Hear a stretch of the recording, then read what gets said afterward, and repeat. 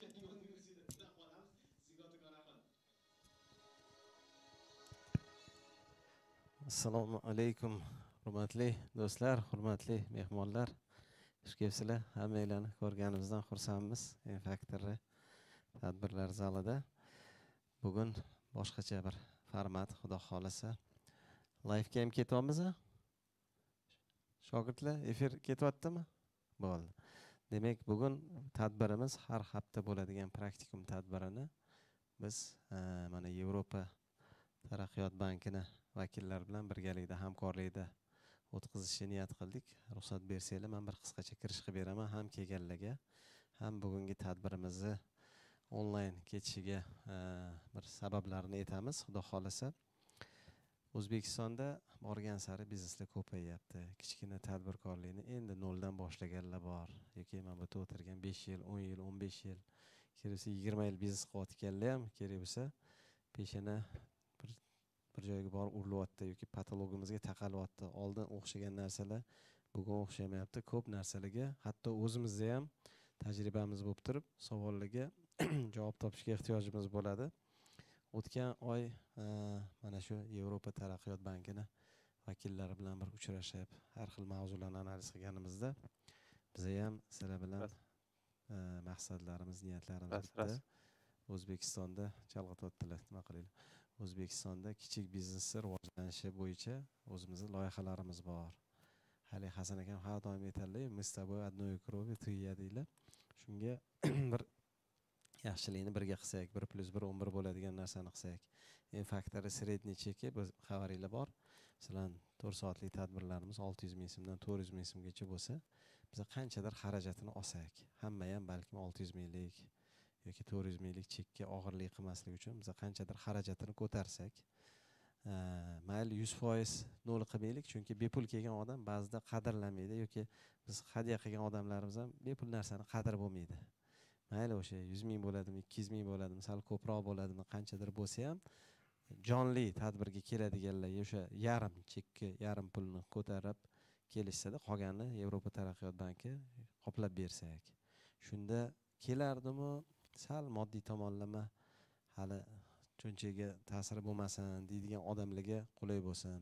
Yoki mana youtubeda ko'rib turganlar e shunaqa arzon baho bo'lsa ikki barobar arzon bo'ladigan bo'lsa biz ham bajonidil keyingisiga kelardik desanglar har doim eshigimiz ochiq. Buni formati ikki xil ebrd bilan ya'ni yevropa taraqqiyot banki bilan qiladigan mavzumiz ikki xil sababi. Bittasi jonli kelganlar yarim bahosini to'lab kelinadi kofe break jonli network qilish imkoniyati kelgan spikerlarga savol berish imkoniyati bo'ladi. Youtubedan ko'rayotganlar duo qilib qo'yasizlar.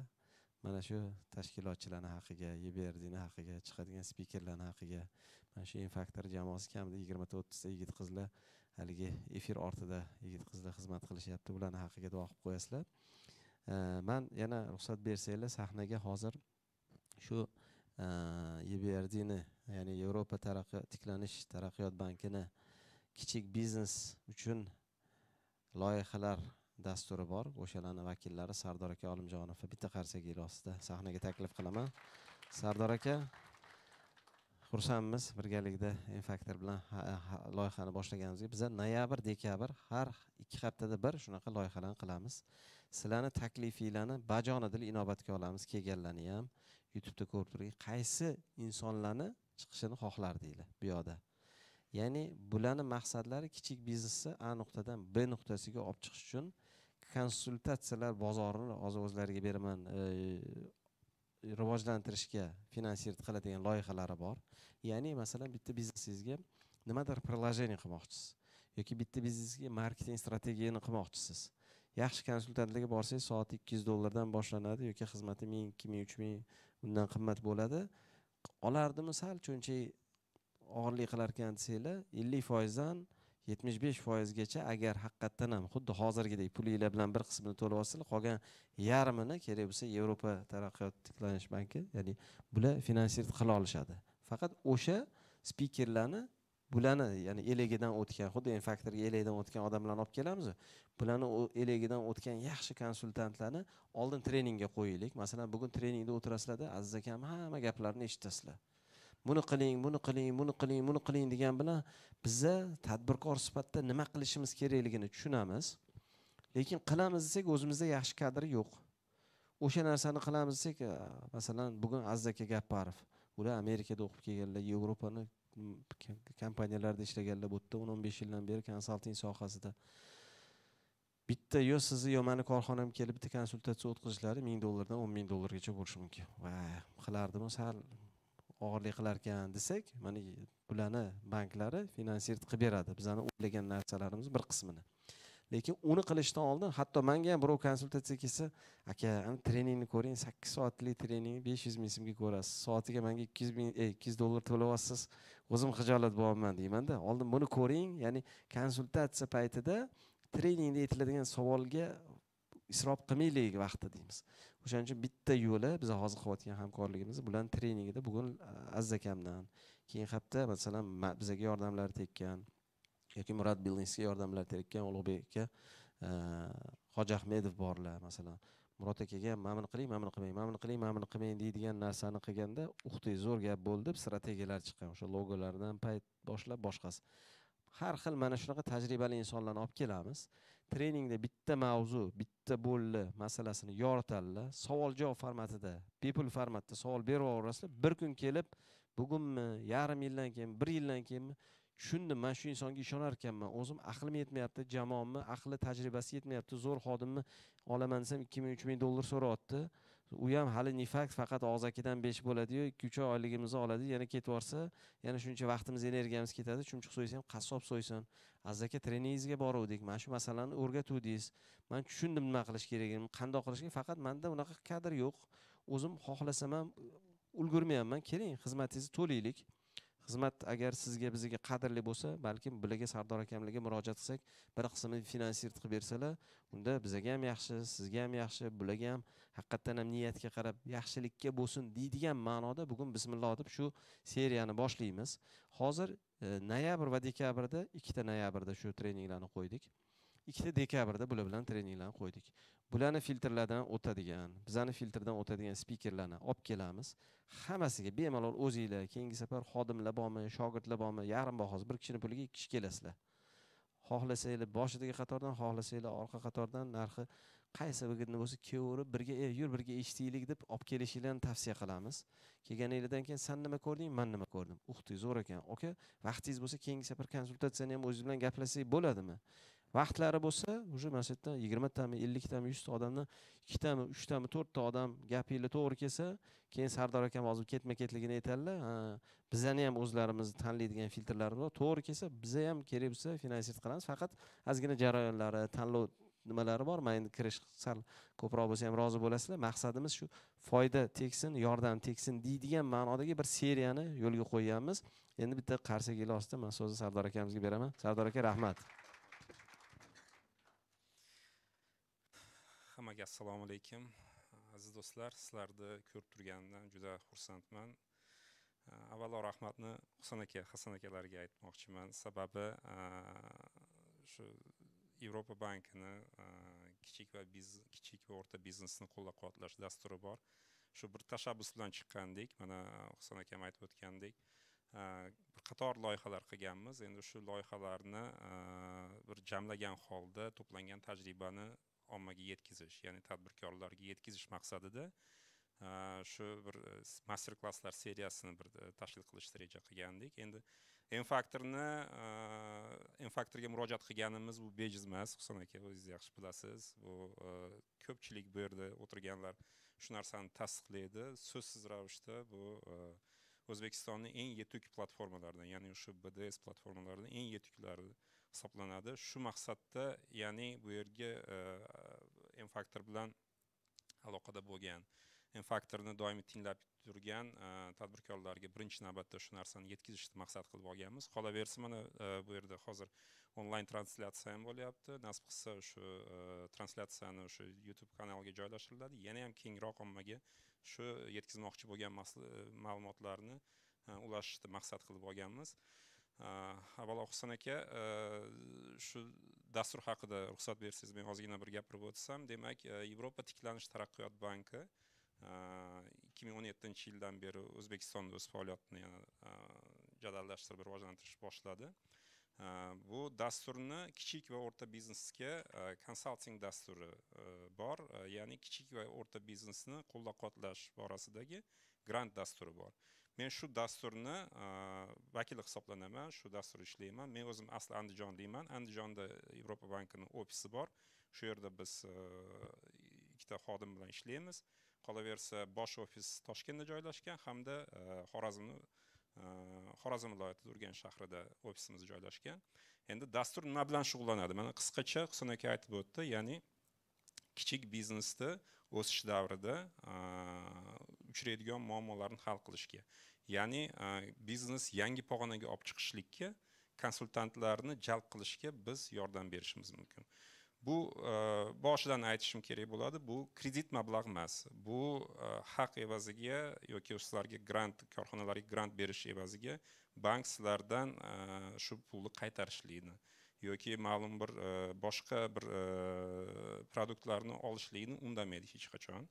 Bu e, birinchi navbatda bankni o'zini mandatidan kelib chiqqan holda mana e, ko'pchiliklarda xabaringlar bordir. Bu o'z nomi bilan yevropa tiklanish va taraqqiyot banki. Bu ya'ni o'sha e, sotsialistik tuzum tugagan davlatlardan ya'ni bozor iqtisodiyotiga o'tishga ko'maklashishga qaratilgan xalqaro moliya instituti hisoblanadi. Bu dastur mana o'zi asli bir ming to'qqiz yuz to'qson uchinchi yildan beri faoliyat yuritib keladi. O'zbekistonda ikki ming o'n yettinchi yilda shu faoliyatini yana ham jadallashtirib boshladi. Shu kungacha biz e, ikki yuzdan ortiq loyihalarni amalga oshirdik. Endi loyihalar qanday tartibda amalga oshiriladi? Endi haligi soddaroq qilib tushuntirsam odamlarga savolli tushuncha bo'lishligi uchun. Demak e, agarda siz e, kichik va biznes korxonasi bo'lsangiz endi shartli ravishda aytyapman Э, va korxonangiz bir yildan oshiq faoliyat yuritayotgan bo'lsa э, ishchilar soni o'ntadan ikki yuz elliktagacha ayrim hollarda besh yuztagacha bo'lgan korxonalar endi bizni klassifikatsiyada kichik va o'rta biznes kategoriyasiga kiradida va yillik aylanma оборотingiz, foyda emas aynan оборот yillik tushumingiz bir milliardga agar yetgan bo'lsa odatda bu korxonalar biz uchun shu grant olishga murojaat qilishga imkoni bor korxonalar hisoblanadi. Grant olish e, e, tartibi qanday amalga oshiriladi? Mana siz o'zingizdagi muammo bor. Mana ko'p treninglarda qatnashasizlar. O'zinglardagi biznesinglarda mavjud muammolar haqida o'zinglarga tushuncha ham ega bo'lgansizlar. Qolaversa biznesimni rivojlantirishim uchun nima qilishim kerak degan savolga javob bergan holda sizlar konsultantga murojaat qilishinglar mumkin. Ya'ni bu grant dasturini mohiyati shundaki siz agarda siz o'zingiz biznesingizni rivojlantirishligi uchun konsultantni jalb qiladigan bo'lsangiz shuni xarajatini yetmish besh foizini biz grant hisobidan qoplab berish imkoniyatimizga egamiz. Endi bu yerda mana ayol ishtirokchimiz ham o'tiribdi. Agarda siz agar o'zingizni biznesingiz bo'ladigan bo'lsa ayollar misolida men aytmoqchi bo'lganim agarda korxonani ta'sischilari ichida yoki rahbarlar ichida ayollar bo'ladigan bo'lsa bunda qo'shimcha ravishda yana o'n foiz ya'ni sakson besh foiz xarajat grant shaklida sizlarga qoplab beriladi. Tartibi qanday bo'ladi? Mana shu konsultantlarni jalb qilasizlar. Birinchi navbatda shu loyihaga ishtirok etish uchun e, ariza bor ariza shakli.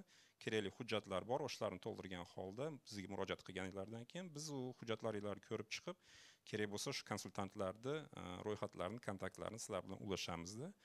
Va shu bilan birgalikda sizlar o'zinglar ham bozordagi mavjud konsultantlar balki kim bilandir gaplashib kelgandisizlar balki xuddi shunday treninglarda qatnashib turib qaysidir konsultantni fikrlarini eshitgansizlar. Shu odamni siz o'zingizga Э, ishingizga konsalting uchun jalb qilmoqchi bo'lib yurgan bo'lishingiz mumkin.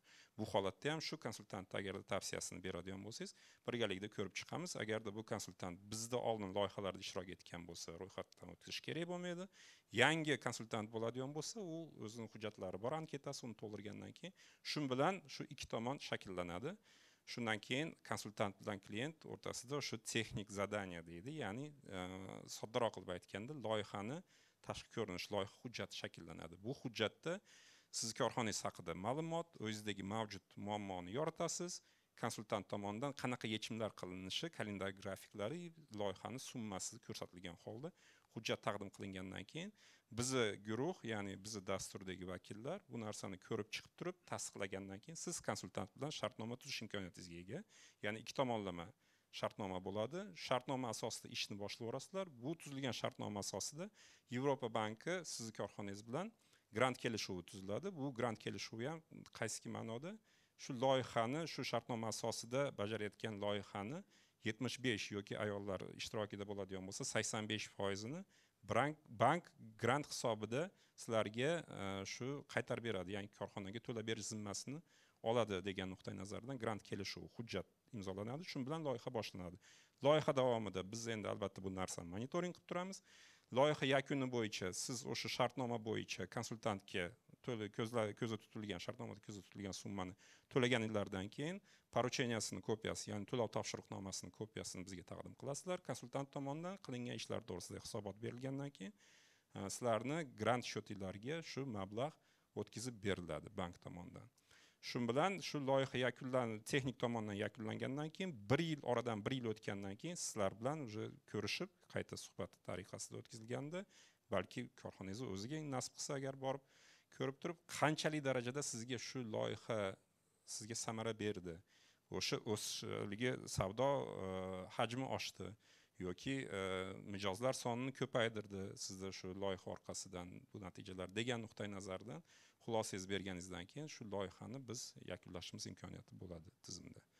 Ya'ni e, xuddi shu tartibda ishlar amalga oshiriladi. Loyihalar e, turli xil yo'nalishlarni o'ziga qamrab olishi mumkin. Bu o'sha strategiyadan boshlab ya'ni korxonani strategiyasini ishlab chiqishga shu konsultantni yollashingizdan tortib qolaversa marketing yo'nalishi marketingda ham keng qamrovli e, oddiy o'sha marketing tadqiqotini ya'ni bozorni o'rganish bilan bog'liq bo'lgan Э, loyihalarni amalga oshirish qolaversa u raqamli marketing deydi ya'ni цифровой marketing.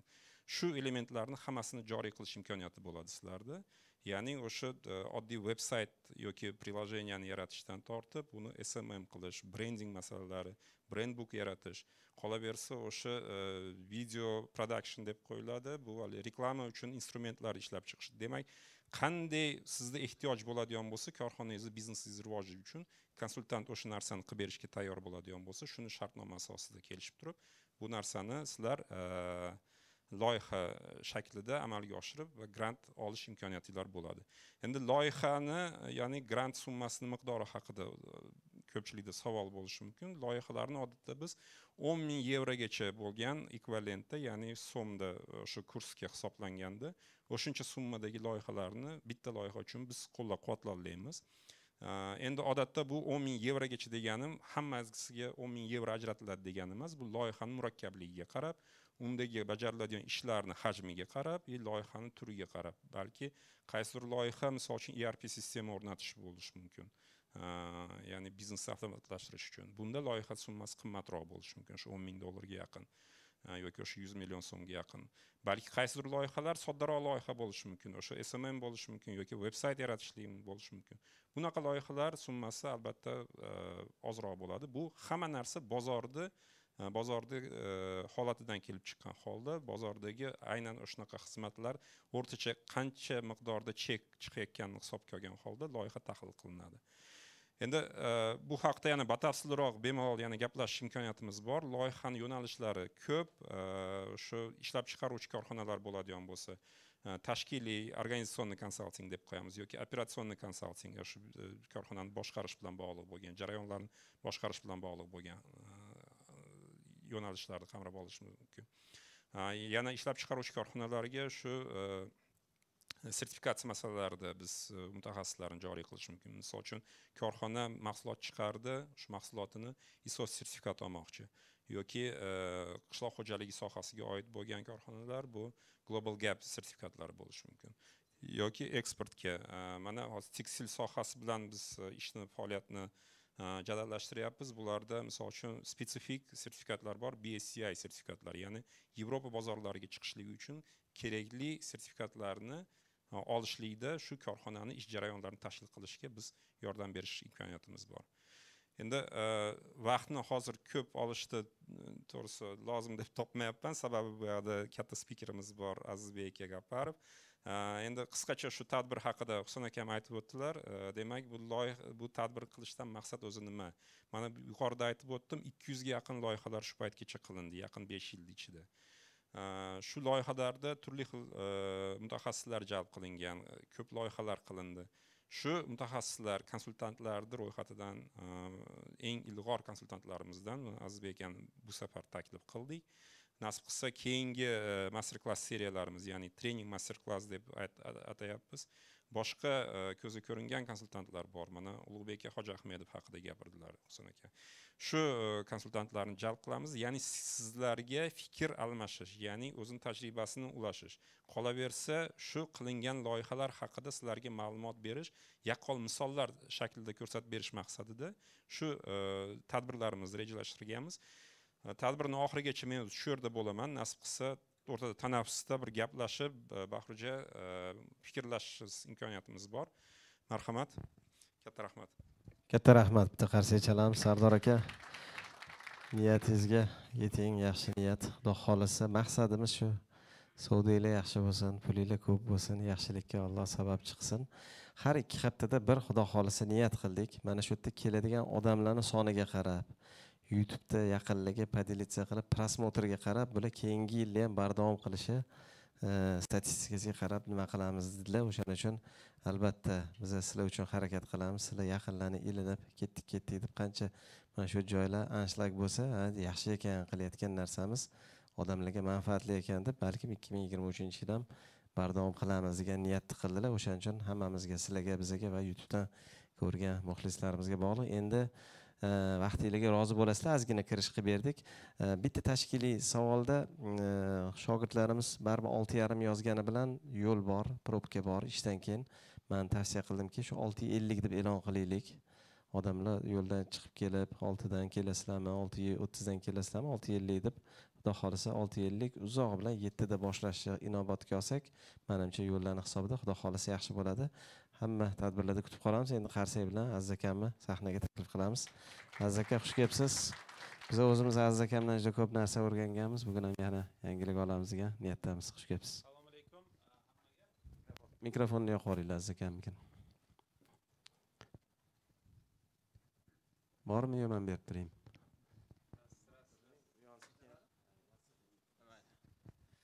hammaga assalomu alaykum. Xush kelibsizlar? Bugun xudo xohlasa e, yaxshi trening bo'ladi. Xudo xohlasa. Mana e, yevropa rivojlanish va taraqqiyot banki haqida gapirildi. E, biz bu bank bilan anchadan beri hamkorlik qilamiz. Hmm, shaxsan o'zim oldin kompas konsaltingda ishlayotganimda ham birgalikda ishlaganmiz. Hozir o'zimizni kompaniyamiz bor.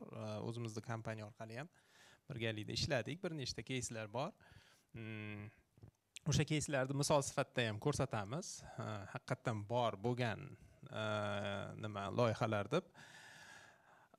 Va e, bundan tashqari mm, umumiy e, sizlarni savollilarni sizlarni bizneslaringni ham ko'rib chiqishga harakat qilamiz. Ras ras ishlamadi hali bo'lmasam sekin boshlayverdim ozgina tanishaylik. Mani ismim azizjon familiyam gapparov. Agar kimdir taniydi kimdir tanimaydi o'shaning uchun qisqacha tanishtirib o'taman. Man asosiy ish faoliyatim hozir boshqaruv konsalting deymiz. Boshqaruv konsalting bu ko'proq korxonadagi boshqaruv tizimida uchraydigan muammolarga yechim berish bilan shug'ullanadi. Boshqaruvda qanaqa muammolar bo'ladi? Ko'p holatda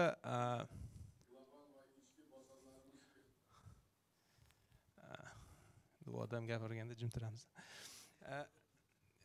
ko'p holatlarda e, misol uchun marketing yo'nalishi bo'yicha muammolar bo'lishi mumkin. Savdo yo'nalishi bo'yicha hr yo'nalishi yoki ishlab chiqarish yo'nalishi. Manga shaxsan qiziq bo'lgan yo'nalish bu marketing va savdo yo'nalishi.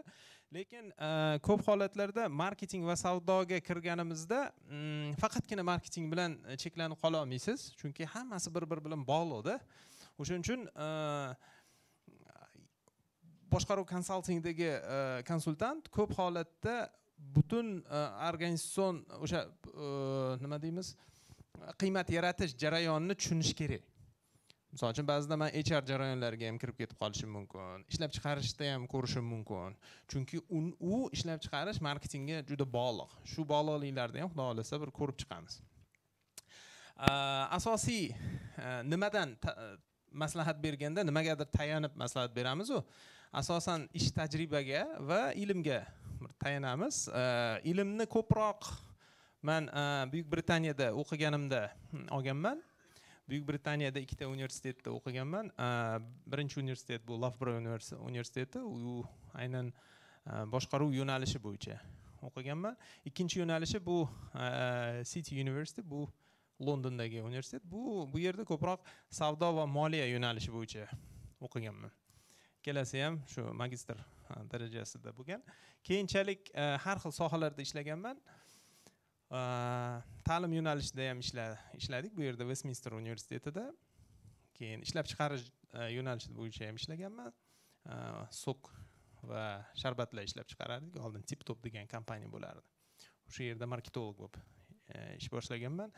Э, tashqi savdo yo'nalishi bo'yicha ham hmm, o'sha marketing bo'limini marketing yo'nalishini boshqarganman. Keyin oxirgi manimcha bir e, o'n yildan ziyod e, konsalting yo'nalishida ishlab kelyapman. Konsaltingga chuqurroq e, buyuk britaniyada londondagi konsalting kompaniyaga kirganman. O'sha o'sha yerda ishni boshlaganman. Keyinchalik rossiyaga ham borib rossiyada ham konsalting yo'nalishida ishlab oxirgi manimcha bir man o'zbekistonda bir reformalar boshlangandan beri e, shu yerga kelib shu yerda konsalting yo'nalishida ishni e, davom ettiryapmiz. E, qisqacha shu. Sizlar bilan ham tanishsak bu yerda mani tushunishimcha asosan kichik va o'rta biznes vakillari bo'lsa kerak. Tadbirkorlar kimni o'zini biznesi bor agar qo'l ko'tarsanglar. Yaxshi. Qolganlar o'sha qaysidir biznesda ishlashadi to'g'rimi? Shunaqami? Yaxshi. Aksariyatda biznesi bor ekan в принципе manimcha biznesi borlarga ham biznesi endi kelajakda biznesni ochmoqchi bo'lganlarga ham manimcha juda foydali bo'ladi degan umiddaman. Sekin boshlayveramiz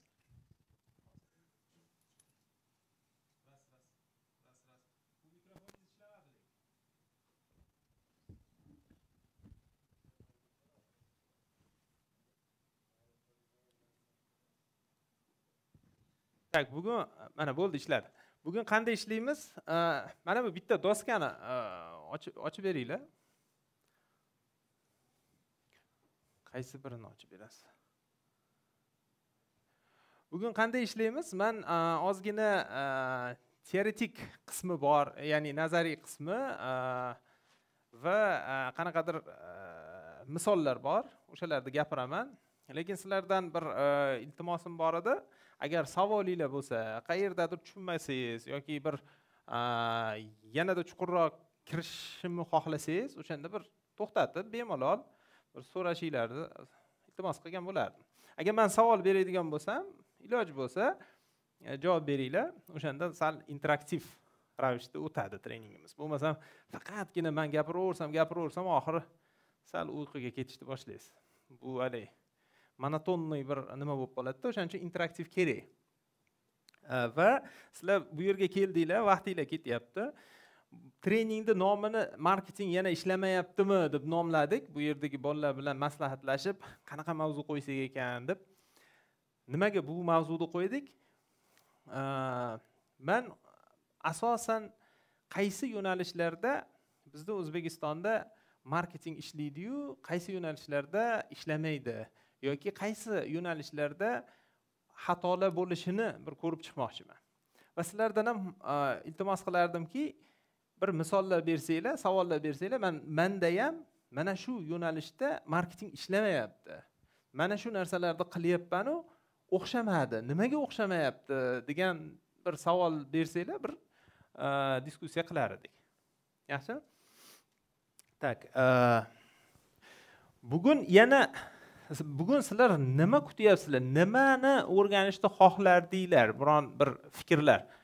Mana shu treningdan mana shu mana shu narsani bilib olib ketsam yaxshi bo'lar edi degan bir fikrlar bormi? Marketing va konsalting nima? Marketing va konsalting haqida ko'proq ma'lumot to'g'rimi?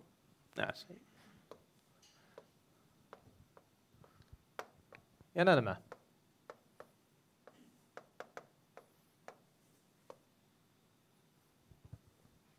Yo'q o'tirib gapiring ehtiyojlarini yo'qotish yo'llari haqida ma'lumot bersangiz. Ishlamay turganini sababi ehtiyoj yo'qligidan shu ehtiyojni yuqoriroq qilish haqida ma'lumot. Nega ishlamaydi deb qo'ydim yaxshi. O'zi butun ehtiyoj. Ya'ni marketingga ehtiyoj nega yo'q deganda ya? Man o'zim rahbar bo'lganligim uchun uch to'rt yildan beri marketologlarni pulga ishlataverib ishlataverib jonga tegdi endi o'zimiz o'rganishimiz kerak. O'shaning uchun o'zim o'rganolmayman zo'r zo'r. Yaxshi. Zo'r marketolog chiqib qolsa ishga olamiz. Rahbar marketolog zo'r. Yana nima? Konsalting uchun qanaqa usulda marketing qilish kerak? Konsalting uchun. Ha mana manimcha marketing konsalting yo'nalishi aha. Ha. Mm, marketing strategiya.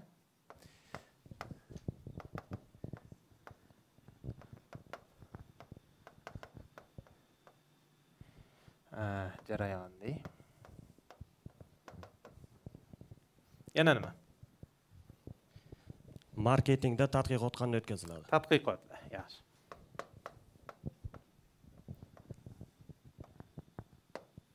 Bo'ldimi? Savdo. Samarador. Ha, samaradorlik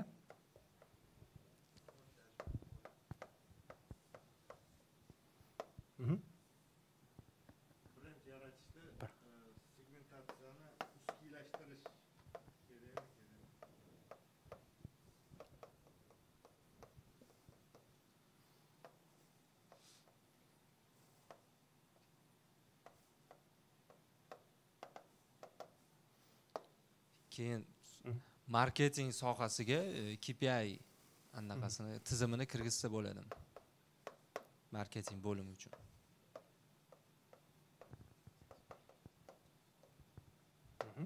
Bo'ldi.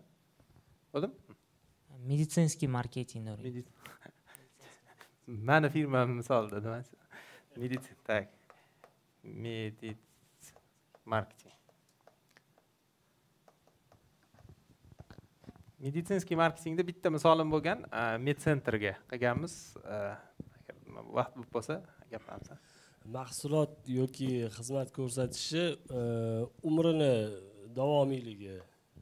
Ya'ni Mhm. mahsulot e, yaxshi sotilib boradi pikka Mhm. chiqib e, baribir zrelisti bo'lib orqaga qaytadiku. O'shani pikka chiqqan paytida uzoqroq ushlab turish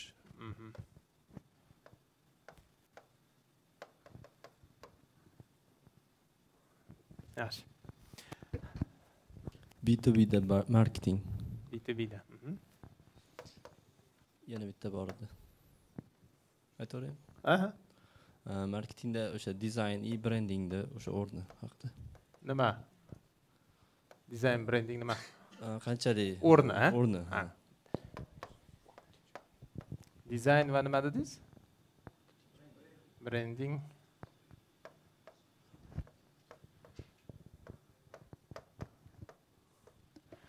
yaxshi. Eh, manimcha yetarli. Mana shular haqida gapirishga harakat qilaman. Nimaga yozib qo'yibman? Eslatma sifatida. Oxiri yana qaytamiz. Nobodamda nimanidir gapirmagan bo'lsam va vaqtimiz qolgan bo'lsa albatta qaytamiz bunga da biz sizlarda ham bir chunki ba'zi ba'zi e, bu yerdagi mavzular bugungi mavzudan tashqaridada. Lekin yozib qo'yaverdim. Tak yaxshi boshladik. Marketing qachon kerak deymiz? Bu yerda bitta savol bor edi. Qachon ehtiyoj shu masala bo'lsa kerakda marketingga ehtiyoj qachon? Qachon bo'ladi marketingga ehtiyoj? Sizlarda fikringlar bo'yicha. Yangi tovar yana nima? Savdo pasayganda. Yaxshi. Raqobatchi ko'paygan zo'r. Mana qarang ssr paytida agar ssr paytini sizlar bir e, ko'rgan bo'lsanglar kimdir ko'rgan kimdir ko'rmagan e, odatiy hol ayniqsa oxirlarida e, nimaga raspadga yaqin paytlarida nima bo'lgan? Mm, katta katta очередьlar bo'lgan. Nimaga очередь bo'lgan? Nimaga очередь bo'lgan? Raqobat bo'lmagan.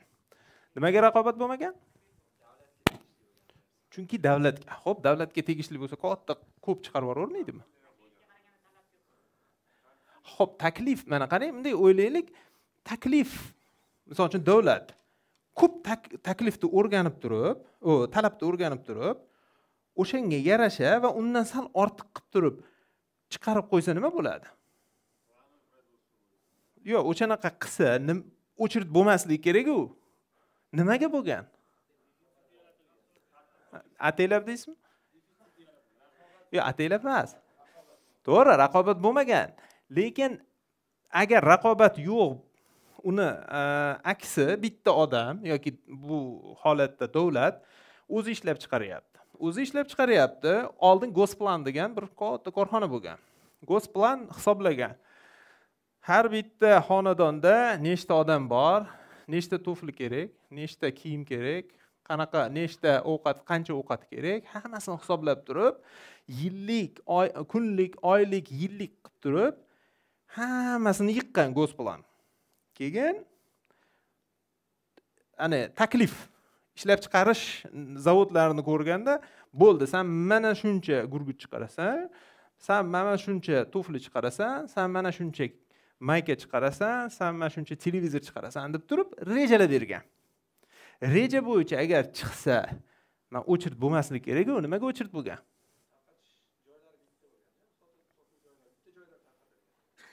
Yo'q bitta joyda bu yerda joy kamligidan emas tovar kamligidan очередь bo'lgan.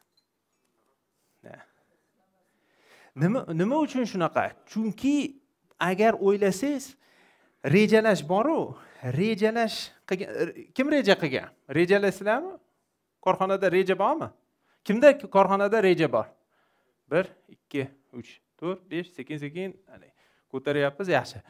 Rejalashda qanaqa muammo uchraysizlar? A примерный так yaxshi yana qanaqa muammo bor rejalashda zo'r. Reja ko'p holatlarda o'xshamaydi. Lekin rejani o'xshamasligi muammo emas. Reja o'xshamasa problema emas. Keyingi safar siz korrektirovka qilasiz korrektirovka qilasiz optimizatsiya qilib sekin sekin sekin sizni korxonangizga va savdoyingizga qattiq ta'sir qilmaydigan darajada xato qilishga yaqinlashasiz. Birinchi rejangiz bu yerda fakt maytda bo'ladi. Keyingi yili mana shunda mana shunaqa sekin yaqinlashaveradi keyin mana bunday o'ynab turadi. Mana bunday o'ynamaydi mana bunday o'ynaydi. O'shaning uchun katta xalqaro korxonalarda rejasi mana shunday o'ynab ketaveradi. Va ularni cash flowga ya'ni pul oqimiga moliyaviy holatiga ta'sir qilmaydi. Mana shu o'ynash. Lekin mana bundan o'ynasa ta'sir qiladi. Endi bozor iqtisodiyoti nima deydi? Agar kimdir mana shunaqa reja qiladigan bo'lsa qolgan o'yinchilar mana bunday reja qiladiganlar uni qoplab yuboradi deydi. Agar gosplan mana bunaqa reja qilsa kim qoplaydi? Hech kim qoplamaydi. O'shanda defitsit paydo bo'ladi. O'shaning uchun ham bu mashina ishlamaydi. U yerdagilar ham xato qiladi. Konkurensiya ya'ni raqobat yo'qligida mahsulot va xizmat sifati past bo'ladi chunki yaxshilikka yangilashga intilish bo'lmaydi. Narxlar baland bo'ladi tanlash imkoniyati cheklangan bo'ladi ko'p vaqt yo'qotiladi chunki o'chirt bo'ladi. Mijozni holati har doim maza qilmaydi. Raqobat bor joyda har doim to'kin sochinlik bo'ladi. Nimaga? Chunki taklif ortiqcha beriladi. Talabdan ortiqcha berilib boradi va eng eplolmagan korxonalar ya'ni o'zini ishlab chiqarish jarayonlarini savdo jarayonini marketing jarayonlarini optimizatsiya qilmaganlar bozordan chiqib ketadi. Bozor o'zi tozalab turadi. Bozor o'zi tozalab turadi. O'shaning uchun nima bo'ladi bu yerda mahsulot va xizmat sifati eng yaxshilikka intilaveradi. Chunki yaxshi bo'lmasa chiqib ketadi bozor tozalaveradida. Narxlar past bo'ladi chunki raqobat iloji yo'q. Narxni pasaytiradi tanlash imkoniyati har doim baland bo'ladi biz uchun. Kam vaqt yo'qotiladi mijozni holati har doim xursand. Lekin o'ta zo'r marketing qilsa yana navbat paydo bo'lyapti. Nimaga? Bu yerda mahsulot va sifat yaxshi. Narxlar baland. Хотя bu yerda nima dedik narxlar past dedik lekin bu yerda narxlar baland. Tanlash imkoniyati past. Ko'p model yo'q bu yerda. Ko'p vaqt yo'qotiladi. Mijozning holati undan ham xursand. Tushunyapsizmi? Marketing e, raqobat bor joyda bo'ladi va agar sizni holatingizda hozir Mm, unchalik marketing kerak bo'lmasa va sizda raqobat yo'q bo'lsa katta ehtimol bilan yaqin orada bo'ladi. Agar siz ochiq bozorda bo'lsangiz. Agarda siz qanaqadir bir bilmadim yashirin sxemalar bilan ishlaydigan biznesda bo'lsangiz undada bu как yoki monopoliya biznesida bo'ladigan bo'lsangiz unda marketing kerak bo'lmaydi sizga. Biznesdagi asosiy jarayon bu ichida marketingni o'rni. Endi biznes faqatgina bitta yo'nalishga bog'liq emas.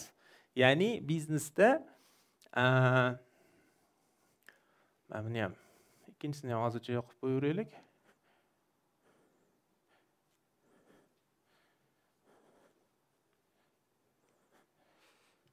Mana shu bo'lsa kerak shu. Biznesda har xil tizimlar bor. Misol uchun marketing logistika ishlab chiqarish savdo hr moliya rejalash. Bulardan birontasi hozir mana shu yerda ishlamay qolsa butun protsess to'xtaydi. Ya'ni manda hozir savdoyim zo'r savdo departamentim zo'r yoki ishlab chiqarishim dahshat deydigan bo'lsangiz marketingingiz yoki rejalash ishlamasa yurmaydi bu mashina. Yoki bu mana shu uh, e, g'ildiragi sekin yursa общий sekinlashadi. Bular qanchalik tez yurmasin общий mashina sekinlashadi. Chunki bir biriga bog'liq. Mana shuni qancha tez anglasak o'shancha yaxshi. Bu degani faqatgina mana shuni rivojlantiraman yoki faqatgina там hozir mana man marketingni gapiryapman demak marketing muhim ekan faqat marketingni rivojlantirish bilan ish bitmaydi yoki faqat moliyani rivojlantirganimiz bilan. O'shanga e, marketingni o'rni qolgan departamentlar qolgan yo'nalishlar kabi o'ta muhim. Bitta korxonada bitta yo'nalish eng muhim deb bo'lmaydi. Bu noto'g'ri bir tushuncha bo'ladi. Endi marketing muhim ekan. Marketing mm, raqobat bor joyda bo'ladi. Endi sizlar uchun marketingni o'zi nima? Mana kimni korxonasida marketingi bor? Sizlar nima qilasizlar mana korxonada? Marketing mm, nima bilan shug'ullanadi? Yangi mijozlarni jalb qilish bilan kompaniyani imijini ko'tarish bilan и piar piar bilan. Zo'r. Zo'r. Yana bormi misollar? Yangi mijozlar piar maqsadli auditoriyani yaratish ularga to'g'ri xizmat ko'rsatib ularga to'g'ri ma'lumot yetkazib ularni jalb qilish. Hmm, yaxshi. Endi bu yerda maqsadli auditoriyani yaratish sal noto'g'ri ya'ni maqsadli auditoriyani aniqlash desak to'g'riroq bo'ladi. Yaxshi. Zo'r. Yana bormi misollar? Yo'q o'tirib gapiravering ya'ni tanitish zo'r. Tanitish bu yerda ham piar va mijozlarni jalb qilish dedingiz brend dedingiz. Yana nima marketingga yuzdan ortiq tariflar bor. Man o'ylayman bu evolyutsionniy qanaqadir protsess qaysidir vaqtda misol uchun bozorda iste'molchi bilan kommunikatsiya muhim. Ya'ni marketing o'sha yo'nalish bo'yicha ishlashi kerak. Lekin hozirgi bizani o'zimizni qarashlarimiz bilan shuni ayta olamanki zamonaviy marketing ko'proq tadqiqotga asoslangan bo'lishi kerak. Ya'ni iste'molchini xohishlarini tendensiyani ya'ni ularni предпочтениясini o'rganishga sarflash kerak. Zo'r. Juda zo'r ta'rif berdingiz. Endi asosiy vazifasi hozir ta'rifga kelamiz. Bir tushunib olishimiz kerakda bitta to'xtamga kelib olsak hammamiz ya'ni marketing deganda juda sizlarni ta'riflaring ham to'g'ri. Marketing deganimizda biz ko'p holatlarda mana menda mahsulotim bor ishlab chiqarib qo'ydim. Endi buni sotishim kerak deymiz. Buni sotish uchun nima qilishim kerak? Reklama berishim kerak. Hammaga e'lon qilishim kerak. Manda mahsulot bor kelinglar olinglar. Nima uchun olishimiz kerak sani mahsulotingni desa mahsulotimni bir ikki uch afzalligi bor. Shuning uchun olinglar deydi yoki mani kompaniyamni bir ikki uch afzalligi bor va man chiqargan mahsulot mana shu afzalliklarga katta ehtimol bilan ega o'shaning uchun buni olinglar. Ya'ni apple hozir biron moshina chiqarsa apple moshina chiqarmaydiyu. Lekin appleni qanaqadir afzalliklari bor. O'shaning uchun o'shanga ishongan holatda biz o'sha mashinasini olamiz. Endi mana shu kommunikatsiya bu eng bir asosiy e, yo'nalishlardan biri marketingda. Ko'pchilik mana shuni e, как бы qabul qilgan va bunga как бы ishonadi. Lekin bundan tashqari boshqa vazifalari ham bor. Ya'ni boshqa vazifasi o'sha mana shu mahsulotim bor dediku ishlab chiqarish. O'sha ishlab chiqarishdan oldin boshlanadi marketing. Ya'ni nima ishlab chiqarishim kerak? O'zi odamlar nimani xohlashadi? Mana shu xohlaydigan narsasi qanaqa bo'lishi kerak degan savollarga kim javob beradi? Misol uchun korxonada. Agar marketing bo'lmasa kim javob beradi? Biznesni egasi demak biznesni egasi marketolog bo'ladi misol uchun siz aytyapsiz hozir marketologlarni haydaverib charchab ketdim o'zim marketing bilan shug'ullanyapman deb. O'zi asli nomer один marketolog o'zi biznesni egasi bo'lishi shart. Chunki siz agar biznesni aynan mana shundoq tushunmasangiz marketolog sifatida tushunmasangiz unda qolgan xodimlaringiz ham siz sizchalik tushunmaydi. Chunki yo bir birlaringni tushunmay turaverasizlar. Faraz qiling siz umuman ular tushunmaysizda ular kelyaptida yo'q buni chiqarmaylik boshqacha qilib chiqaraylik. Chunki mijozlarimiz buna deyapti desa manga qaragin man yigirma yildan beri mana shu sohada ishlayman. O'rgatma menga deysiz. Chunki man mana shu sohani egasiman san kimsan deysiz. Demak bir xil tushunishimiz kerak. U ham siz ham.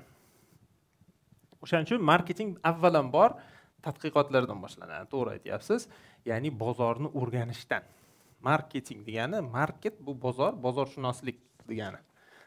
Bozor bor bozorda nimadir bo'lyapti o'sha bozorni o'rganib biz keyin ishlab chiqarganimizdan keyin biz aytyapmizki mana shu mahsulot muhim ekan bu mahsulotni endi mm, qanaqa bo'lishini ham tushuntirdik ishlab chiqarishga ishlab chiqarish oldida ishlab chiqarishni boshladi. Agar ishlab chiqarishni o'ziga qo'yib bersak bor ishlab chiqaruvchi. Misol uchun производственный direktorimizga aytamizda bir yangilik ham qilmayapsiz davay biron bir yangilik qiling. Desangiz nima deydi u? Mana ko'p bo'ladi shunaqa holat. Misol uchun ishlab chiqaryapsizda nimadir? Yangilik qilish kerak kimdan so'raymiz? O'sha ishlab chiqaruvchi xodimimizdan ustalardan so'raymiz.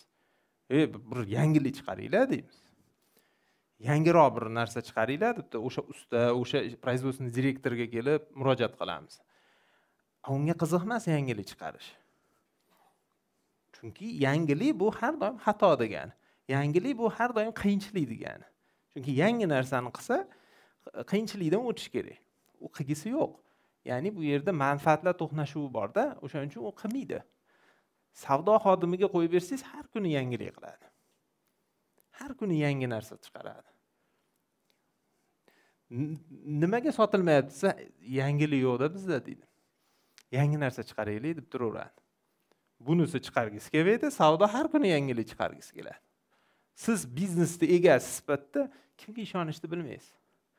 O'shaning uchun marketing nuqtai nazaridan fikrlab o'y to'xtab tur o'zi bozor nima deyapti? Bozorga kerakmi yo'qmi?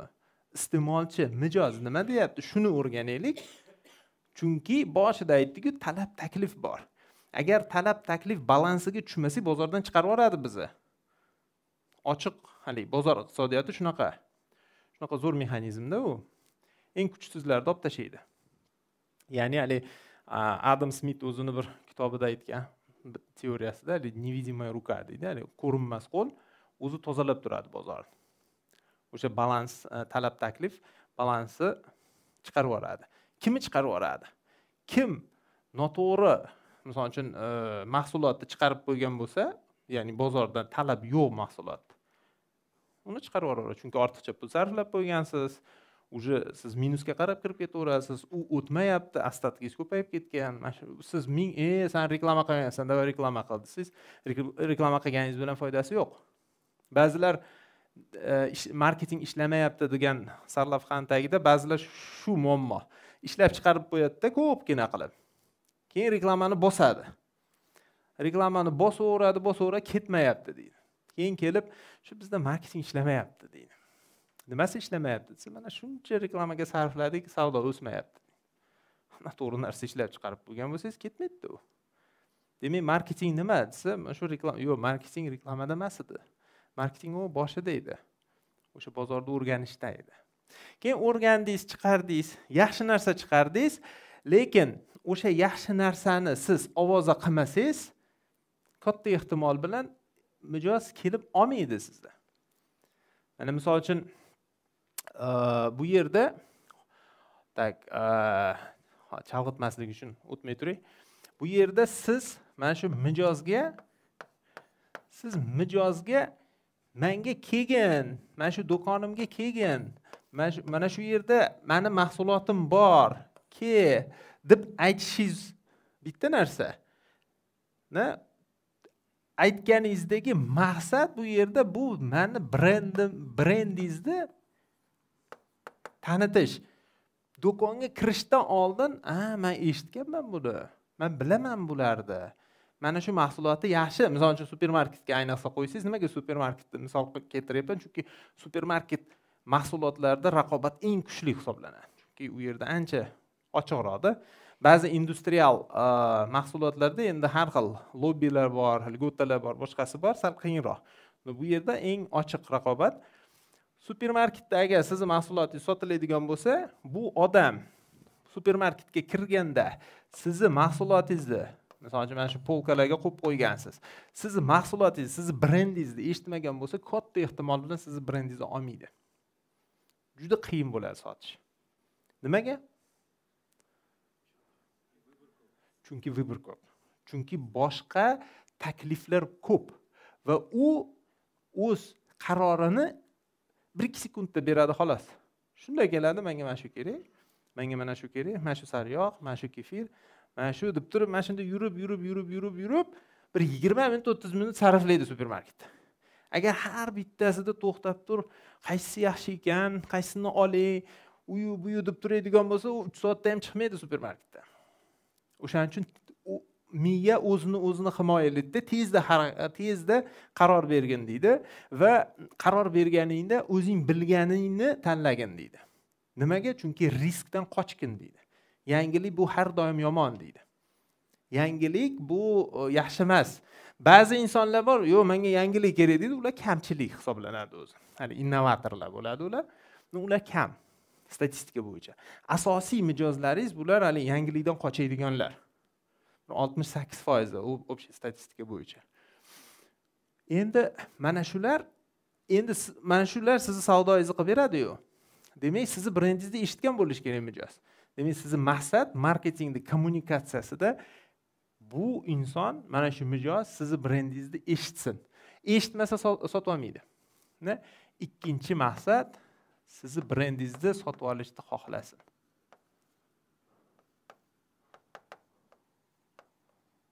Olish istagi bo'lsin. Bo'ldi. Mana shu ikkita maqsadi bor. Mana shu bu kommunikatsiya nuqtai nazaridan ishlab chiqarish nuqtai nazaridan gapirdik a kommunikatsiya nuqtai nazaridan mana shu brendingizni tanitishingiz kerak unga. Endi ikkinchi masala bor bu yerda savdo e, savdo xodimi bor. Bu yerda bo'lishi mumkin e, supermarketda bir zakup zakup bo'lim boshlig'i bo'lishi mumkin yoki kichkina do'konni o'zi tadbirkor rahbari bo'lishi mumkin. Siz bu yerga ishlab chiqaruvchi sifatida bunga sotishga ham harakat qilasiz. Demak bu bilan ham ishlaysiz. Bu ham sizni brendingiz brendingizni tanigan bo'lishi kerak. Endi bu sotib sotish istagi bo'lishi kerak. Bu sotib olish bo'lsa bu sotish. Sizni mahsulotingizni sotishni xohlash kerak. Bu tarafini trade marketing deydi ko'pincha. Bu tarafni brend marketing deydi. O'sha ikkita asosiy yo'nalishi marketingni o'shaning uchun e, biz bular bilan ham ishlaymiz bular bilan. Agar endi sizda e, servis bo'lsa sal boshqacharoq bo'ladi. Marketingda demak e, mana shu asosiy nima? Endi mana xuddi shu narsa brend bor do'kon bor xaridor bor.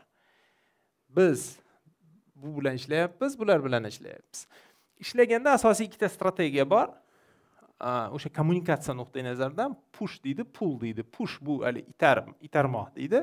Ya'ni ishlab chiqaruvchi ulgurji savdoga keyin chakana savdoga keyin iste'molchiga mahsulotini yo'naltiradi va kommunikatsiyalarni ham shular orqali qiladi. Bitta misol keltiraman. Biz mm, yana bitta klientimiz bor. Avto g'iloflar chiqarishadi chexol o'sha koordinar degan. E, nima brend? Ular bilan ishlaganimizda marketing qilishimiz kerak marketing dedik da da marketing lekin asosiy strategiyamiz push bo'lgan. Nimaga push? Nimaga nimaga deb o'ylaysizlar nimaga biz oxirgi iste'molchi bilan gaplashmaganmiz?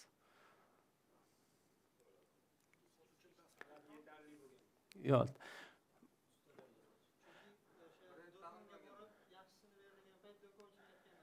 na to'g'ri. Bu yerda mana shu industriyani spesifikasi. Ya'ni siz o'sha chexol sotib olganda biz buni o'rganib turib iste'molchi iste'molchi bilan faraz qiling biz sarflayapmiz vaqt sarflayapmiz pul sarflayapmiz boshqa qilyapmizda. Uni ongida eng yaxshi avtog'ilof bu kardinal avtog'iloflari degan bir g'oyani singdirmoqchimiz demakka singdirdik ham deylik bu bizga o'ta qimmatga tushadi. Va bu inson yilda bir marta boradi avtog'lofga yoki ikki yilda bir marta boradi.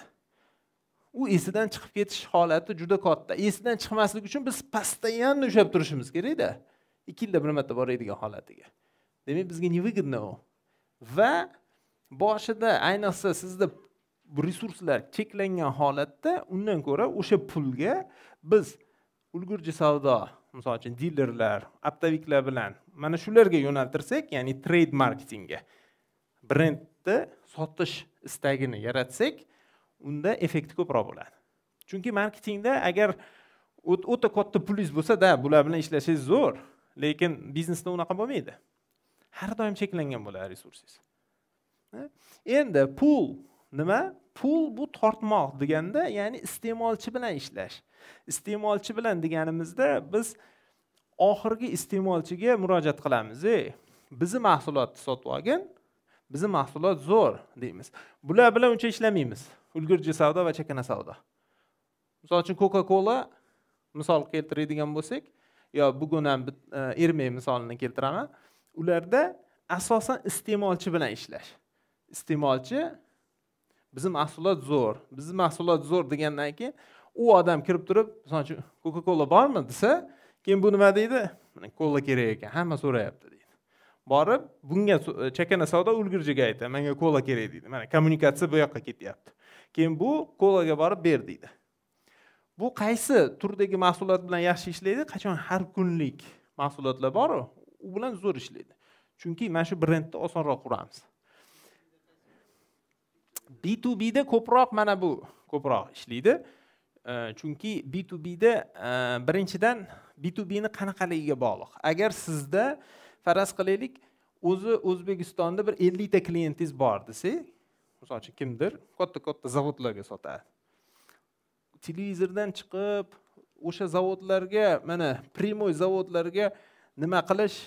Невыгодноda haligi katta ommaviy ravishda. Agentlariga boshqalar orqali chiqsa qulayroq. Ya'ni siz hamma bilan gaplasha olasiz. No odatda korxonalar buni ham buni ham ishlatadi. Ikkalasini ham. Chunki faqat bitta bilan cheklanib qoladigan bo'lsangiz unda e, nimasi mm, ehtimol pasayaveradi. Bu baribir nimaga bog'liq? O'sha bozorni qanchalik rivojlanganiga qanchalik raqobat kuchliligiga bog'liq.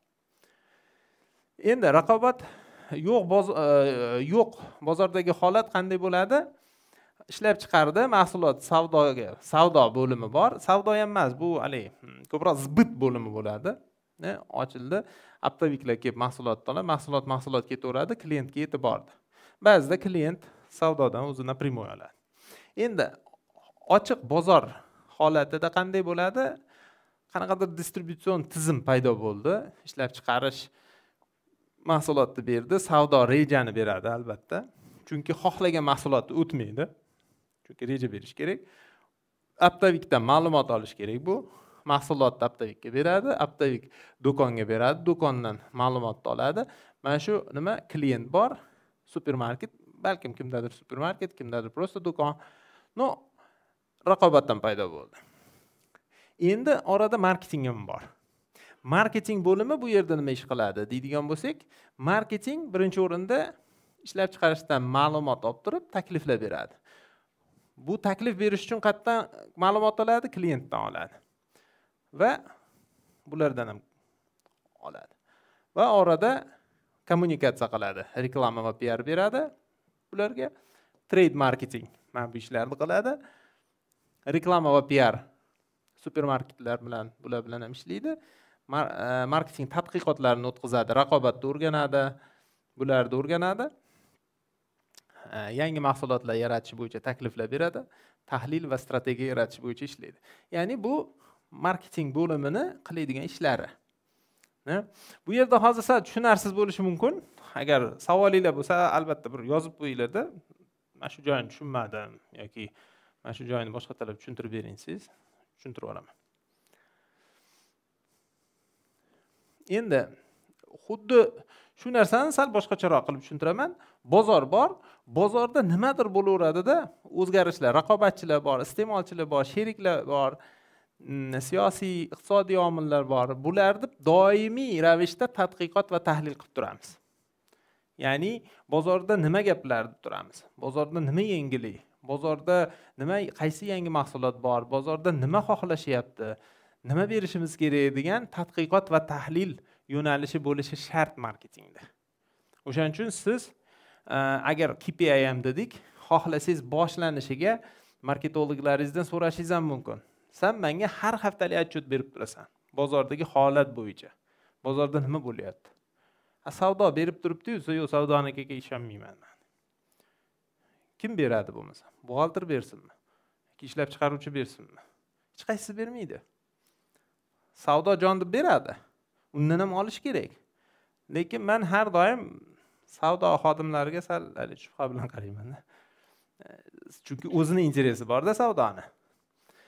O'shanga eh, talab va takliflarda tadqiqot va tahlil yo'nalishi bo'lishi shart marketingda. Agar sizni marketingingiz faqatgina shu reklamani bosib ishlayotgan bo'lsa bu yaxshi emas. Chunki o'zgarishlar bo'lmaydida sizda. Kimdir qilish kerak o'zgarish? O'sha kimdir boshqa odam bo'lib qoladi. Aytganimdek yo savdo bo'ladi yo ishlab chiqarish bo'ladi yo o'zingiz bo'lasiz. A o'zingiz qayerdan bilasiz? Endi man bilaman man aqlliman deysiz. Yo'q hech kim aqlli emas. Bozorni o'rganish kerak bozorda nima holat bo'lsa o'shani berish kerak. Bo'ldi. Bundan kelib chiqadi marketing strategiyasi. Ya'ni tadqiqot va tahlil qilganimizdan keyingina biz qaysi segmentlar bilan qaysi guruh mijozlar bilan ishlashimiz yaxshiroqligi kelib chiqadi. Ungacha kelmaydi. Uni bildik segmentlarni bilganimizdan keyingina qanaqa qiymat yaratishimiz kelib chiqadi. Chunki segmentni bilmasdan turib segment nima? Hamma hamma biladi. O'zimcha gapirib ketyapman savol yo'q a zo'r o'sha maxsus bir guruh nima xohlashini o'rganib turib uni istagidan kelib chiqqan holatda qiymat yaratamiz. Va mana shu qiymatni yaratganimizdan keyingina biz o'zimizni bozordagi pozitsiyamizni belgilaymiz. Mana shuni belgilab bo'lganimizdan keyin keyingina mahsulot chiqaramiz. Keyingina narxini belgilaymiz. Keyingina qaysi turda kommunikatsiya qilishimiz aniqlanadi va qanaqa distributsion model bizga to'g'ri kelishi keyin chiqadi. Bizda marketing nimaga ishlamayapti deydigan bo'lsak ko'p holatda bu yerdan boshlab yuboramiz. Mana shu narsa chiqaraylik deymiz. Nimaga desa zo'r ketadi mana shu? Eng kuchli argument mana shu zo'r ketadi. Yoki mana shu reklama qilish kerak narxini palon so'm qilib qo'y deydi bo'ldi. Nimaga asoslanib qildik? Qaysi tadqiqotimiz bor? U yo'q. Bundan keyingina biz resurs tizimimizga qaraymiz. Ya'ni bizni resurs tizimimiz ya'ni resurs tizim deganimizda e, moliyaviy resurslarimiz yetarlimi yo'qmi? Mana shu mahsulotni ishlab chiqarishga. Balkim bu mahsulotni ishlab chiqarish uchun yangi bir e, оборудование kerakdir. Yoki qanaqadir insonlar kerakdir xodimlar. Bizda yo'q unaqa xodimlar. Yangi texnologlar kerak. Bizda yo'q bunaqa texnologlar. O'shanga mm, agar to'g'ri kelmasa nima qilamiz? Qaytadan boshlaymiz. To'xtab turib boshqa variant nima ekan deymiz. Va mana shu dinamik jarayon постоянно davom etaveradi chunki chunki nimaga? Nimaga davom etaveradi mana shu? Etib turadi mana shu. Chunki mana shu yerda o'zgaradida. Chunki hammasini qarasangiz mana shu yerga bog'langanda birinchi tarafga. Bu yerda nimadir o'zgarib turadi. Nimaga bu yer o'zgaradi? Nimaga bozor o'zgaradi? Ha? Nimaga talab o'zgaradi? O'zgarmay qo'yaversin talab. Yo'q o'shani aytyapmanda o'zgarmay qo'yaversin mana misol uchun mana shu suvni ichdimda zo'r ekan suv bo'ldi bealive butun umr shuni ichaman. Taklif. Chunki yangilik kiraveradi qolganlar yangilayveradida buni ichyapsanmi hozir yangisi chiqdi deydi. Yangisini ichmasang bo'lmaydi deydi. Yangisi bundan shirinroq arzonroq qulayroq va hokazo. San yaxshi ko'radigan deb turib haligi yaxshilikka intilaveradi. O'shaning uchun hozirgi holatimiz bilmayman. Butun o'zbekiston tarixidagi ota bobolarimizni holatidan eng pikidamiz hozir. Siz tasavvur ham qilolmaysiz qanaqa pikdamiz hozir. Haligi bunday noliganimizda shu holat yoki to'qqiztani ichida bo'lishi mumkin. Demak siz haligi korxona sifatida bitta mahsulot chiqardingizda o'xshamadi. Faraz qiling o'sha o'xshamagan mahsulotni oxirgi pulingizga qildingiz. Nima bo'ladi korxonangiz? Kasod bo'ladi. Bo'ldi chiqib ketasiz. Demak innovatsiya qilish uchun sizda ortiqcha pul bo'lishi kerak. Ortiqcha pulingiz bo'lmasa innovatsiya qilolmaysiz innovatsiya qilolmasangiz rivojlanolmaysiz. Haligi haligi kruг замкнутый круг bo'lib qolyaptida. Demak nima bo'lyapti? Bu yerda rivojlanish uchun har doim sizda ortiqcha pul bo'lishi kerak. Har doim sizda ortiqcha pul bo'lishi uchun siz kattaroq marja bilan sotishingiz shart. Kattaroq marja bilan sotishingiz uchun sizda brend bo'lishi shart.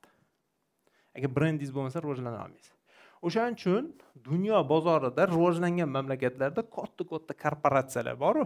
Ular kichkina o'yinchilarni har doim siqib chiqarib yuboradi chunki kichkina o'yinchilarda shansi yo'q rivojlanishga. Chunki ortiqcha puli yo'q ular. Ortiqcha puli yo'q bo'lsa innovatsiya qilolmaydi ba'zilari yorib chiqadi bor pulini yig'ib turib bitta tikkanda o'xshab ketadi. Haligi startaplar. Ularda терять нечего degan haligi startap to'rtta beshtasi birlashib давай mana shuni qilaylik deydi. Yemaydi ichmaydi oxiri kvartirasini sotadi o'xshasa o'xshadi deydi. Bitta o'xshaydi hamma chapay choladi. Dahshat qara deydida. Qolgan to'qqiztasi ham shunaqa qilaman deydi. Ularda o'xshamaydi. Lekin biz bilmaymiz uni eshitmaymizda ular haqida. Kim aytadi mana man oxirgi kvartirani sotib nima qiluvdim o'xshamadi hech kim aytmaydi jim yuradi. Narigilar aytadi mana oxirgi pulimni tikuvdim bitta tashlavdim o'xshab ketdi. Shunaqa dangalchi tavakkalchimanda deb. Maqtanib yuradi. Biz ham biz ham shunaqamiz deb yuramiz. O'shaning uchun biz innovatsiyalarga investitsiya qilmasak rivojlanmaymiz. Savollar bormi? Savollar bo'lsa beringlar chunki man to'xtamasa gapirib ketaveraman. Yaxshi. Marketing tizimida tadqiqotlar va tahlilni o'rni juda ham katta dedim. Undan oldin mana shu joyda aytdim tahlil muhim. Ya'ni tahlilga xalaqit beruvchi narsa nima? Birinchisi o'z biznesimizni o'ta yaxshi ko'rishimiz. Juda ko'p holatlarda biz biznesimizni endi boshidan boshlaganmiz yaxshi ko'ramiz. O'shaning uchun e, biz biznesni yaxshi ko'rganimizdan biz biznesimizni zo'r tushunamiz deb yuboramiz. Bozorda o'zgarishlar bo'ldi. O o'n yil oldingi biznes emas hozir hozir boshqacha bo'lib ketdi desa E, oldin bo'lgan hozir ham bo'ladi deb turaveradi endi. Mana shu ochiq bo'lmaslik marketingda ishlamasligiga olib keladi. Demak birinchi o'rinda biznesni egasi har doim ochiq bo'lishi kerak biznesini yaxshi ko'rishi kerak. Chunki yaxshi ko'rmasa e, haligi nima? Strast nima deymiz? Bir nima bo'lmaydi. E, ishtiyoq bilan katta ishtiyoq bilan bir yondashmaydi. Agar katta ishtiyoq bilan yondashmasa qolganlarda haligi motivatsiya berolmaydi qolgan ishchilar ishlagisi kelmaydi. O'zida ishtiyoq bo'lmasa qolganlarda qanaqa bo'lsin? Shuning uchun yaxshi ko'rish kerak lekin yaxshi ko'rganda ham tanqidiy fikrlashga ochiq bo'lish kerak har doim. Birov yomonlasa nima qiladi? Ya'ni mana shu uchinchi punkt tanqidga ochiq bo'lishimiz kerak. Ya'ni kimdir yomonladimi bo'ldi nima yoqmadi sizga? Nima uchun yoqmadi deb ochiq bo'lishimiz kerak. Demak buni bilishimiz uchun biz o'sha e, misol uchun mana so'rovnomalar qilamiz ba'zida. So'rovnoma opros deymiz. E, tadqiqotlarda tadqiqot uchun tadqiqot qilmasligimiz kerakda. Ya'ni ko'p korxonalarda endi tadqiqot qilishimiz kerak ekan. Mana opros qildim. Mana shunaqa shunaqa deb turib уже statistika bo'lib qoladi. Ba'zi joylarda o'sha statistikani to'g'irlashni boshlashadi. Davlat miqyosida shunaqa qilishadi. Mana shunga to'g'irlashimiz kerak edi korxonangizda ham kattalashgan sari sizda ham xuddi shunaqa bo'ladi. Sizni xodimlaringiz to'g'irlashni boshlaydi statistikani ha bizda mana hamma yaxshi ko'ryapti. Birontasida sal не то ma'lumot kelib qolsa sal to'g'irlab qo'ygin mana shuni deydi shepga yoqmaydi bu deydi. Shepka yoqmaydi chunki biznesini yaxshi ko'radi. Sabab va oqibatlar tahlili. Ba'zida biz o'sha chuqur kirishib nima sababu nima oqibatligini ajratib olishimiz kerakda. Bu buning uchun e, sizlarda e, korxonangizda albatta e, marketing nima deymiz tadqiqot tahlilchi analitik bo'lishi shart. Agar misol uchun marketing bo'limiga bo'lmasa ham hech bo'lmasa savdo bo'limiga oling. Tahlilchini ya'ni raqamlarni tushunadigan. Nima uchun? Mana shu holat bor bizda e, ba'zida aytadi mana savdo tushib ketyapti. Nimaga tushib ketyapti deydi endi deydi biz narxini ko'taruvdik. O'shaning uchun savdo tushib ketdi. Bo'lganmi shunaqa holatlar? Biz narxini ko'taruvdik savdo to'xtab qoldi deydi. O'smayapti. O'sha o'sha savdo turibdi. Lekin har oy o'sayotgandi ketayotgandi mana ras ketayotgandi keyin ras to'xtab qoldi. Nimaga desa chunki deydi bizda narxni ko'tardik deydi. O'shaning uchun deydi. Savdo bo'limi shunaqa deydi sizga narxini yana qaytaraylik zo'r bo'lib ketadi. Vaholanki mana shu joyda o'nta klient bo'lsa faraz qilaylik sakkiztasida mashina ketyapti ikkitasida mana ketyapti. Va o'ntasini rezultati o'rtacha mana bunaqa bo'lgan. Tushunyapsizmi? Bu degani narx ko'tarishda muammo yo'q. Mana shu ikkita ikkita klientda muammo. Buni ichiga kirmasak bilmaymiz. Yoki sizda o'n xil mahsulotingiz bor o'n xil mahsulotingizga narxni ko'targansiz ikkitasida muammo bor. Buni ichiga kirish kerak. Ichiga kirmasak bizga o'rtacha ko'rsatkichlar hech narsani anglatmaydi. Yoki regionlar bo'yicha sizda savdo ketayotgandi rost bunday bo'lib qoldi. Bizda bir ikki o'nta region bor. Qolgan regionlar hammasi tam o'ttiz o'n yigirma foiz o'sgan. Qaysidir ikkita region minus sakson e, minus yetmish foiz bo'lganda o'rtachasi tekkiz bo'lib qolgan. Biz nima deymiz? Nima to'xtab qoldi mana bu deydi endi bizda narxni ko'taruvdik o'shaning uchun to'xtab qoldida desa ha deb ishonamizda keyin yana tushiraveramiz то есть buni sabab nima oqibati nima? O'shani bir aniqlashimiz kerakda aniqlash uchun tahlil qilishimiz kerak. Tahlil qilish uchun raqamlarni tushunishimiz kerak. Agar o'zingiz raqamni tushunmasangiz raqam tushunadigan insonlarni komandaga olish kerakda. Ular o'tirib razbivkasini qilish kerakda. Ularni ishi faqat mana shu raqamlarni chuqurlab o'tiraveradi. Nima uchun deydi? Razrezlar qiladi. Mahsulot bo'yicha brendlar bo'yicha region bo'yicha там balkim agar kanallar bo'yicha agar onlayn sotadigan bo'lsangizda har xil nimalar bo'yicha razrezlar qilgandan keyin sekin ko'nmaydi qanaqadir ma'no paydo bo'lishni boshlaydi ha maytda ekan muammo deydi muammo точкалari topadi savol bormidi bu shu ora orada bir keyslarni gapirib o'tamiz birinchi keys bu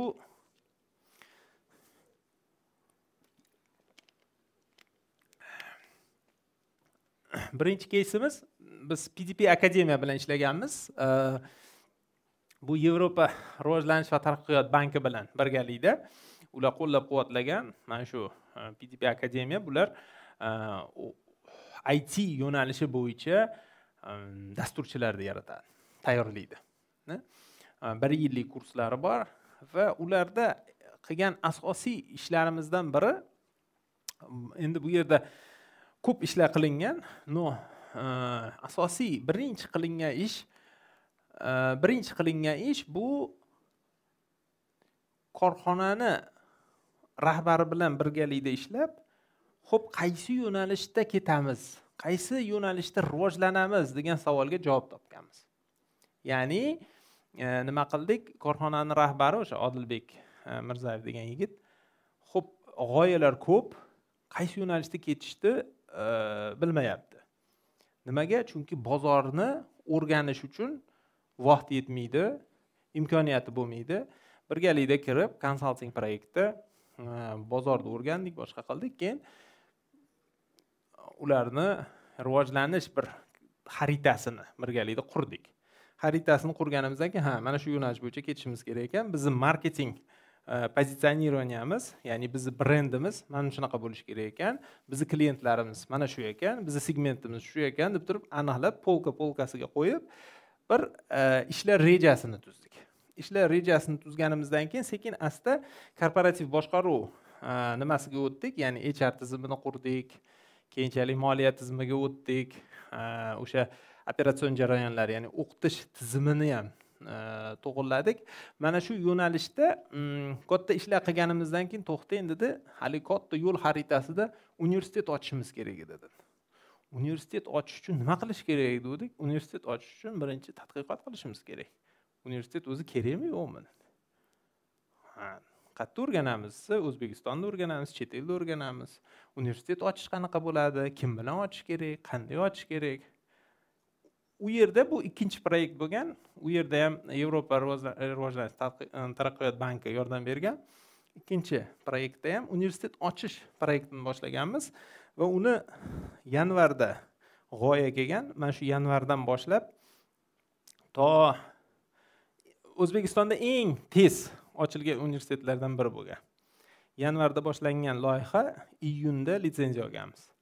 Ya'ni ungacha biz butun o'sha dunyodagi eng yaxshi ilg'or it universitetlari qanaqa o'quv dasturlari qanaqa o'zbekistonda it yo'nalishiga talab bormi yo'qmi qaysi yo'nalishga talab bor juda ko'p tadqiqot chuqur tadqiqotlar o'tkazib turib ha ochish kerak ekan dedik. Ochish uchun qancha mablag' kerak deb turib moliyaviy modellar qildik. Moliyaviy modellar qilganimizda ha boshida birinchi etapda shuncha pul kerak ekan keyin shuncha pul keyin shuncha pul kerak ekan buncha pul kerakligi uchun uchinchi etap hisob kitoblar qilib iyunda oldik.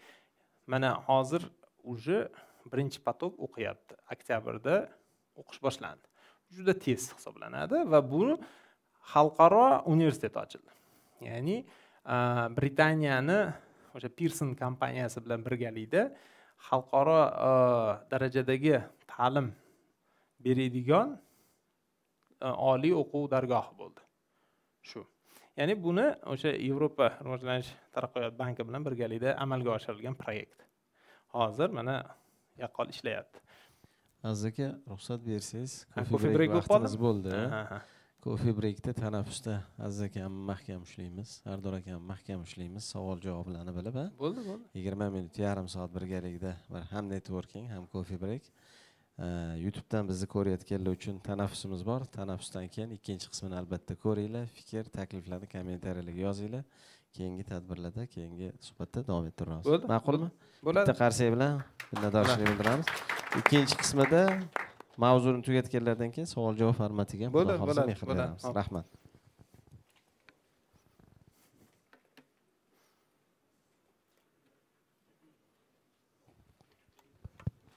tanaffusimiz shu yigirma minut yigirma besh minut bo'lsa ja bo'lmasa sakkiz qirqda boshlaymiz. Yaxshimi